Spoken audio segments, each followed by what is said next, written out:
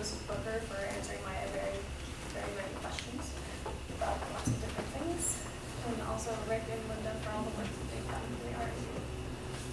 So my work this semester was on the properties of protostellar outflows in the Orion Nebula.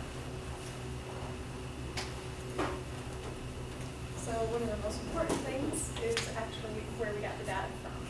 It's from a radio telescope called APEX, which is a collaboration between three different institutes. The Max Planck Institute for Radio Astronomy, Onsala Space Observatory, and the European Southern Observatory. Um, it's located in, apologize if I butcher the name, Lano Shanjanator, and it's at 5,105 meters. It's used to study coal dust and gas in the Milky Way galaxy. And our map size are 8.5 arc seconds by 8.5 arc seconds and beam size of 19.6 arc seconds by 19.6 arc seconds.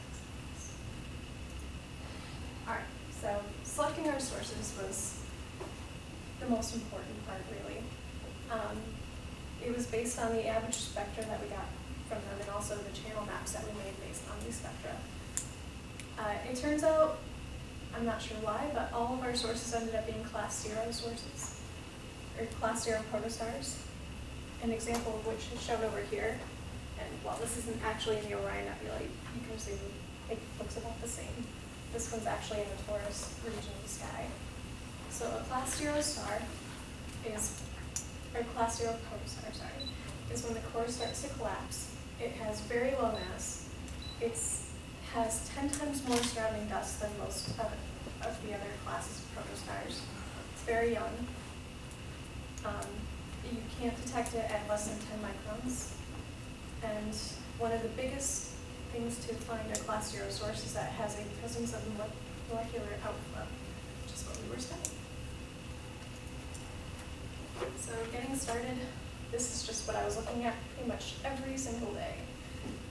This is a nice, beautiful program called CLASS, which was a pain to learn, but once you did, it was very, very helpful. Um, you would start off using spectra like here, and that's actually the average spectra that was taken.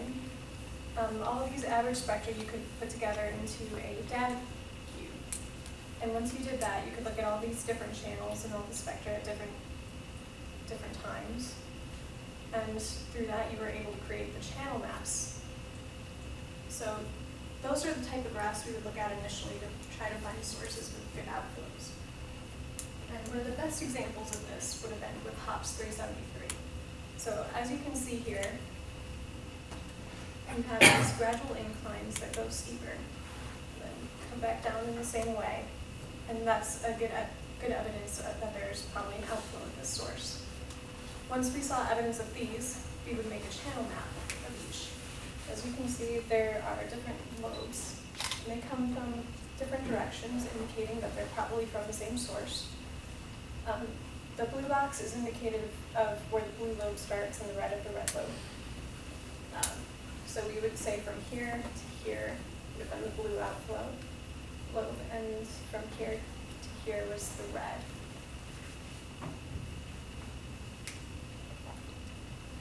So to calculate the mass, uh, the first thing you would have to find was the column density of the upper part.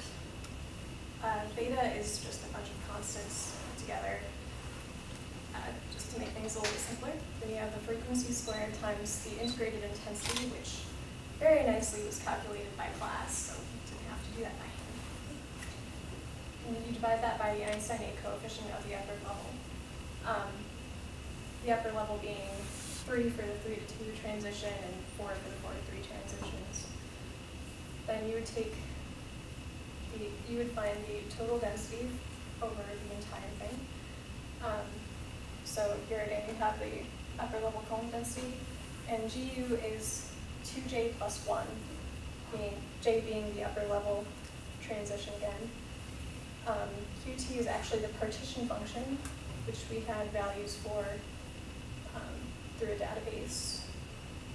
EY is the energy of the upper limit, and that's all divided by E, the constant, to the Boltzmann constant times temperature.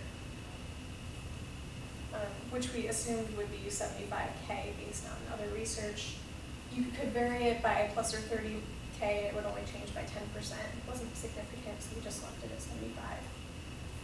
And then you could finally calculate the mass of the outflow, which was mu constant times the mass of hydrogen times the area of a singular pixel over the total, times the total.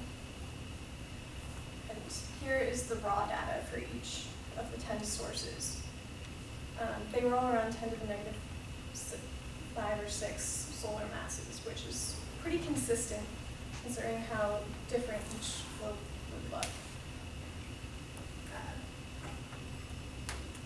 So here, we tried comparing, comparing the luminosity to the mass, since they should be directly correlated. As you can see, there really didn't seem to be any sort of correlation between the two.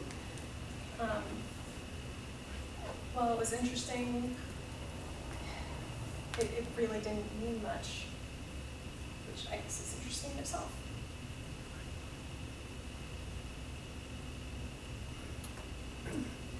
So the, the two outliers over here that have the much larger mass were hops three seven, or three point one. And we think this is due to, to, it might actually be multiple sources and not just one. Um, As you can see from here, it actually looks like it- the outflow is coming from two different sources in both the blue and red directions. So we think that the fact that we saw a larger mass for both is actually very good. It supports that hypothesis, though obviously it's not conclusive. Um, and we calculated the outflow force. Uh, CI was the inclination factor, Vmax being the maximum velocity for each that we took, so twenty-five for most of them. And then it was the sum of, that's actually an integral of the integrated intensity for each different channel over the size of each. Um, And then we have the raw data for each of the forces for each. This is actually the, the wrong units here. It should be solar masses kilometers per second squared. But all of these were around ten to the negative fourth. Which is- I, I still find it interesting that they were around, this, even within a factor of ten of each other. Um, any questions?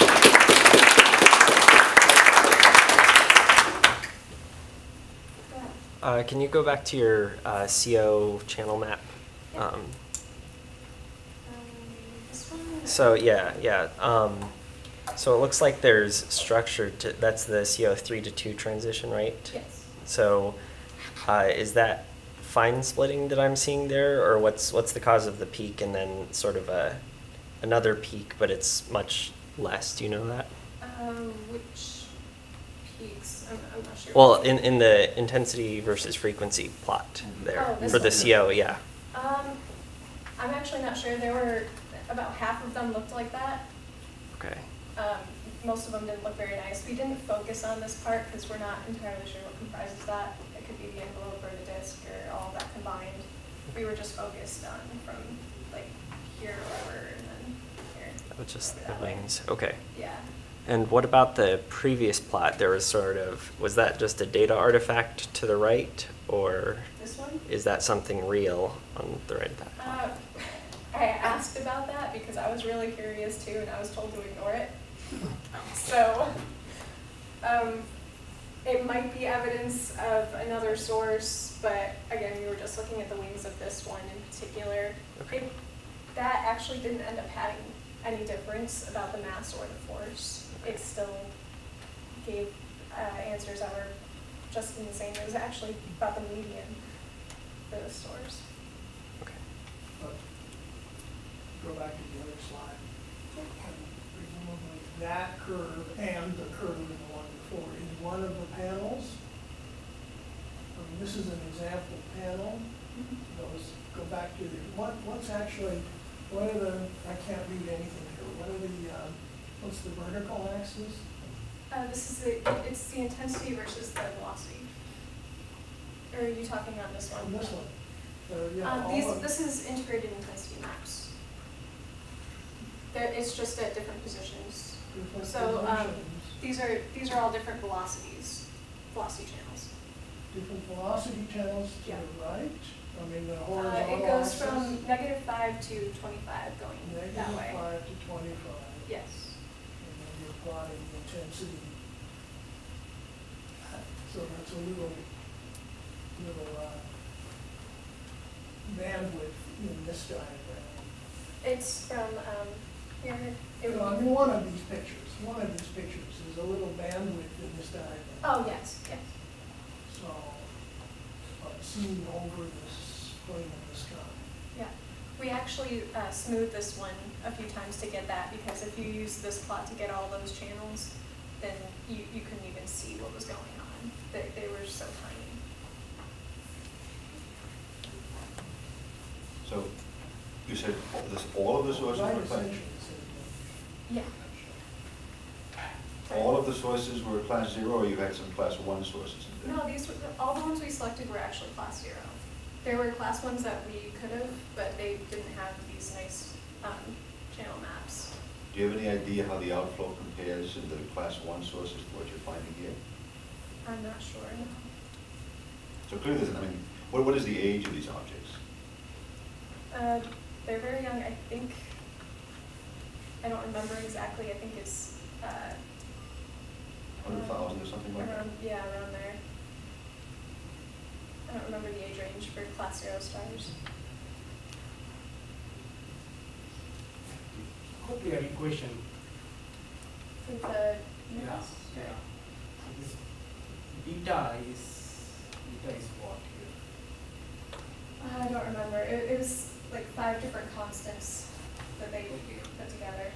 Now, you're using CO3 to 2 line for all this calculation, and typical column density for this reactant is 23 percent. I used, uh, three to two and four to three. But do you worry about the, to be an optically thick line for this? Because if it's optically thick, do you have, do you apply any corrections for this?